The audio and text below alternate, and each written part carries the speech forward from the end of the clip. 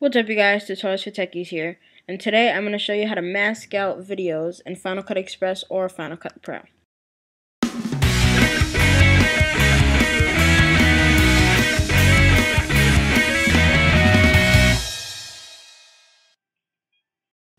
Alright, so before you do anything, you're going to want to go to this website, http homepage.mac.com forward slash Tom Henderson forward slash Bezier Matte forward slash.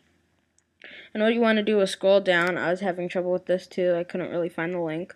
You have to scroll down, and what you want to do is go down to uh, 50 point Bezier Matte 2 dot zip or 50 point Bezier Matte um, dot sit. And so after you do that, then that's pretty much it. That's all you have to do. And so now, after you download it, you just um, go into your downloads and you can see that 50 point Bezier matte is right here. So you want now you want you want to do is go into Finder and you want to go um just search it 50 point Bezier matte. And so once you see it, then you want to simply um, double click it. It's loading and after you double click it you want to copy it. And after you copy it you want to go to MacBook Pro HD and you want to go into um, lib uh, library. Then you want to go into application support. And now you want to go into Final Cut Express or Final Cut Pro.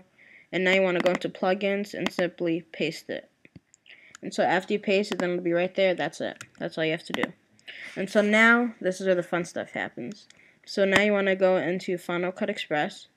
And what you want to do is grab, um, you, you should have two videos. One video of you standing somewhere, and then another video of you standing somewhere else. So that'll look like you want to clone yourself, or something like that. Something where you need to mask out a video. So what you want to do is put a video, you want to put the main video over this other video right here. So as you can see, I have two videos on top of each other.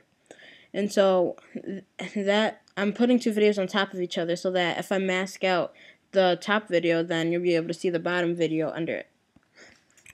Okay, so now what you want to do is you want to double click um, this top video so that it shows up into your viewer. You want to click on filters. Um, you want to click point one right here after you scroll down in filters, point one and this should and this um, is the 50 point Bezier matte that you just downloaded. It should automatically come up. There shouldn't be any problems. Click this crosshair right here and just go over the canvas and you want to just drag drag drag this first point over your person so that you'll be able to, you'll be able to mask it out. And so now you want to just keep doing the same with point 2. And you want to just drag this around your character or your person. And the same with point three. Excuse me.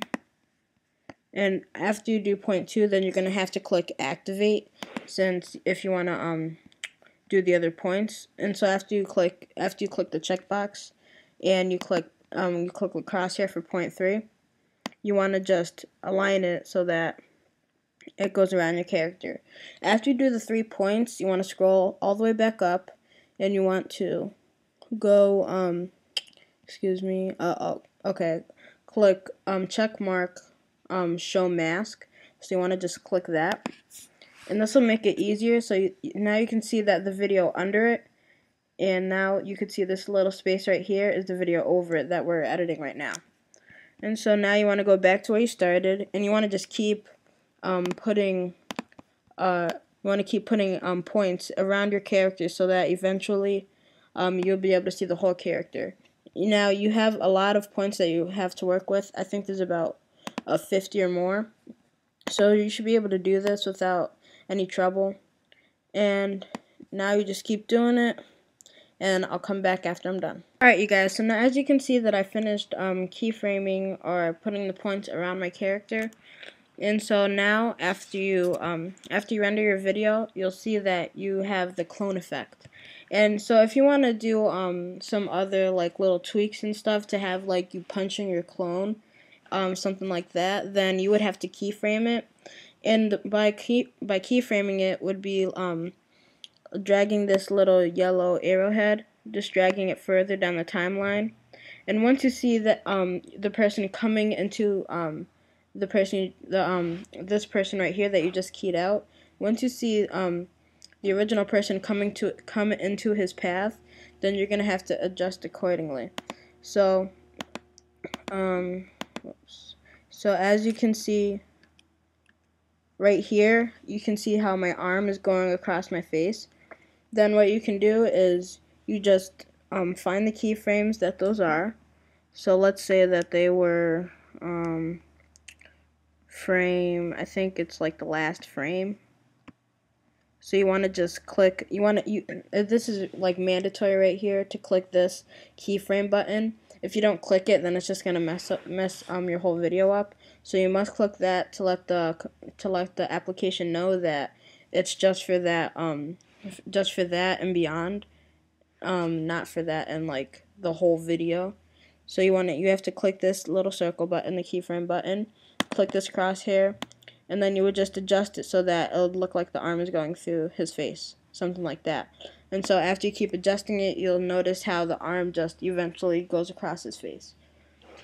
Um, I have a little, um, I have a little video. It's nothing, it's really, it's nothing to be all like crazy about, but this is something I was just working with when I, this is my first video that I did with this, um, fil with the new filter I just, um, that I just downloaded. So, um, I'm just going to show you it. I believe it's in Finder, Documents, Movies, Fuck Express. Alright, so this is something I just did. And so it's basically, this is a final product after I was keyframing. And so this is what I got.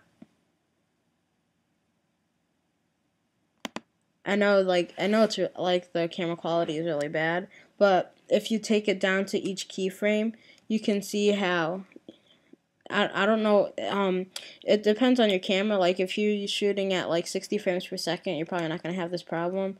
I was shooting at a low shutter speed that's why I keep having these little glitches. But as you can see I keep actually keyframed my arm going into my clone right there.